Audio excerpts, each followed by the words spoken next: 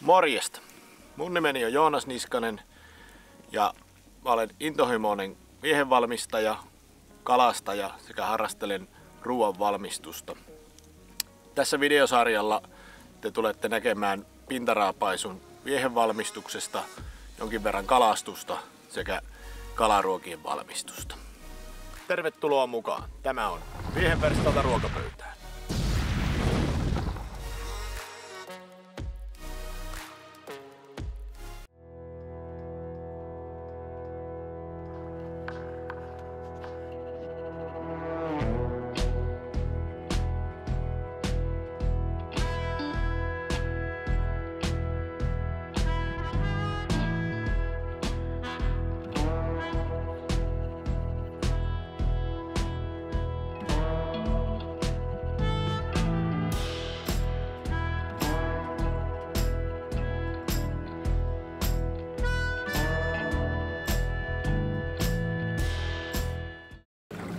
Morjesta. Nyt ollaan sitten tuota, se meidän vieheverstaalta ruokapöytään sarjassa niin yhdessä vaikeimmasta osuudesta, eli kalastus. Ja nyt tultiin jo toista kertaa vesille, eli aikaisemmalla kerralla oltiin tuolla Päijänteellä kokeilemassa ihan puhtaasti lohikalan pyyntiä.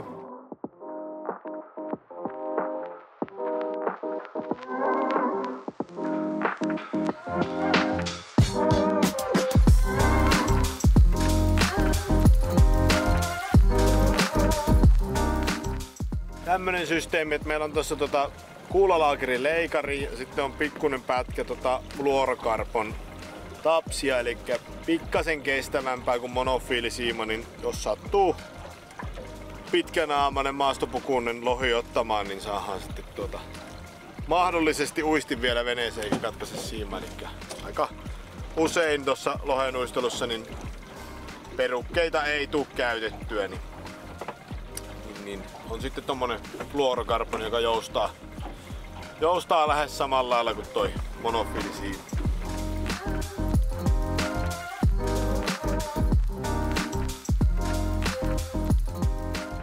Se on punakäärme. Tehty Inarijärveen oikein niinku virallisesti suunniteltu ja on muuten tehokas siellä.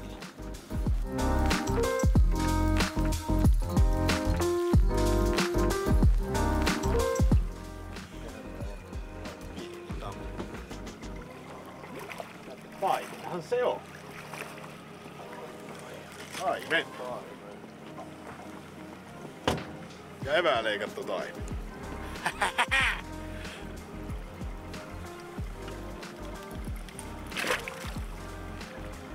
Se lähti sinne. Jenna vaappu vaan toimi. Hieno päivä. Tänään tuli vaan pieni taimen. Kokeillaan seuraavalla kerralla, jos saatais isompi. Ja nyt ollaan, nyt ollaan sitten kokeilemassa, jos samoilla vieheillä saatais sitten tuota kuhaa, kuhaa tai haukea. Ollaan täällä Pohjois-Keiteleellä Pihkurin selällä vetämässä ja katsotaan mitenkä, mitenkä tota, saadaanko kuha. On meillä mahdollisuus tästä järvestä saada se lohikin, mutta on se tälleen kesällä huomattavasti haasteellisempaa kuin syksyllä tai alkukeväästä. Niin, ja nyt olisi sitten ajatuksena lähteä kokeilemaan vähän semmoista sekapetoa, eli laitetaan tonne pyyntiin yksi koukkusta lohivaappua, kuhavaappua, ainakin yksi pelti, ja sitten vielä porrastetaan tuota painotusta sillä lailla, että kun kala on melko ylhäällä todennäköisesti tälle lämpimän veen aikaan, niin lähdetään tuolta aika ylhäältä pinnan tuntumasta, ei aivan kalvosta, mutta pinnan tuntumasta liikenteeseen ja tuota, painotetaan tonne jopa 8 metriä asti noita vieheitä. Niin semmoisella systeemillä lähdetään kokeilemaan. Ja jos sulla on hei jotain, mistä sä haluat tietää lisää, niin pistä tuohon alle kommenttia, niin tota, tehdään video siitä.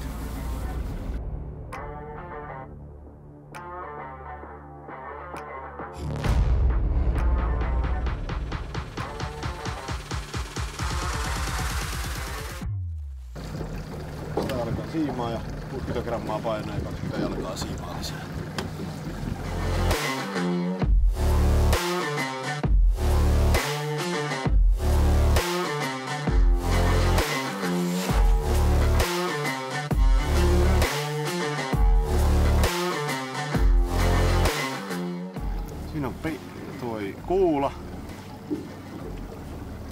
Kauhea syöttipari meni justissa siitä.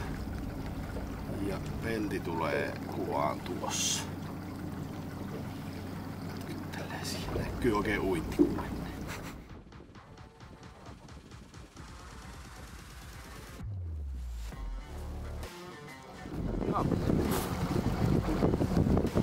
Kyllä, me tästä jo päästään.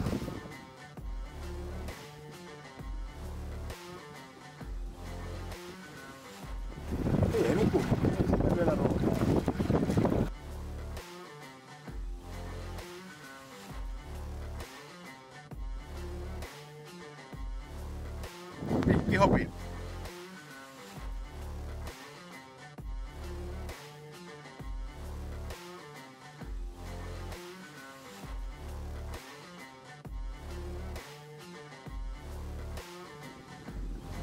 Kestääkö nostaa siitä? Toivottavasti. Komea. Just hyvä tommonen ruokakuva. Ei se paljon ollut kiinni. 49 senttiä. Tällä lähtis katsomaan missä, missä syvyydessä kala on. Jota varmaan painottaisi jonnekin tänne. Todellisuus on jossain täällä. Nähty, että ne liveissä menee tuolla huomattavasti ylempänä väistäneitä kaloja. Mm. Aloitan vielä tää ihan erilaisella vapautuksellakin. Unohin millaisella se oli. Tää on painava kala tää. Tää varmaan pyytää vaikka tää olisi tuolla pakissa. Kyllä sieltä kuhaa tulee ja kuhaa on tää. Vähän tuossa yksi koukkussa toi kuha, kun on kuitenkin kovat leuat, niin jos se pääsee potkimaan. niin On riskinsä, että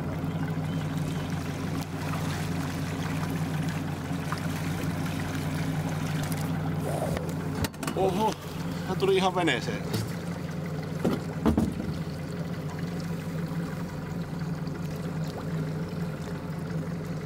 Tää oli jo ihan hyvin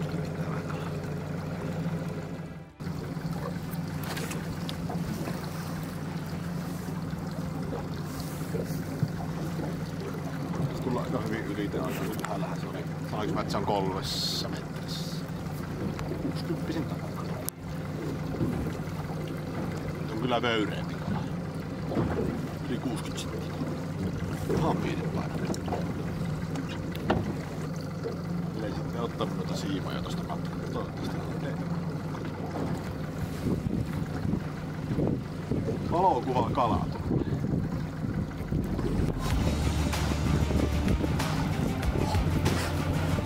Tää on ilme. Tiedä.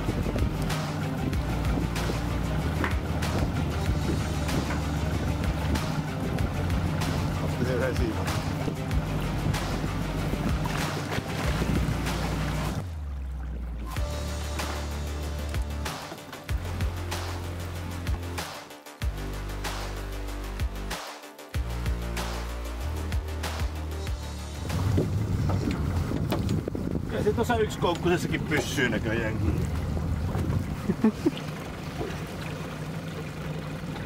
Eikö se ollut kolme? Kolme, 68 senttiä.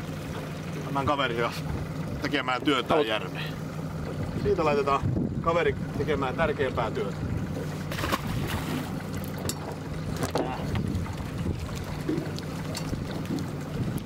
Yes.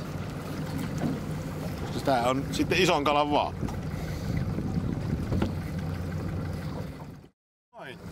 Tää reissuhan lähti ihan hienosti käyntiin. Ei käytännössä vieheitä saatu vetoon, kun oli ensimmäinen kala kiinni. Saatiin siitä ensin pikkukuhaa ja ei muuta kuin samaan syvyyteen vieheitä uudestaan. Ja heti seuraava kala oli jo pikkusta vajaa 50 senttinen kuhaa ja ei muuta kuin lisää vieheitä vetoon. Saatiin toinen kuha heti perään ja ruvettiin siinä jo vähän, että lähdetäänkö näistä kokkailemaan sitten jo safkaa, niin räpsähtikin vähän parempi kala siihen sitten ja tota, saatiin tasan kolmen kilo 68 senttinen kuha ja päästiin vapauttamaan se ja nyt lähdetään kokeilemaan, että saadaanko niistä tehtyä meille apetta noista saaduista kaloista.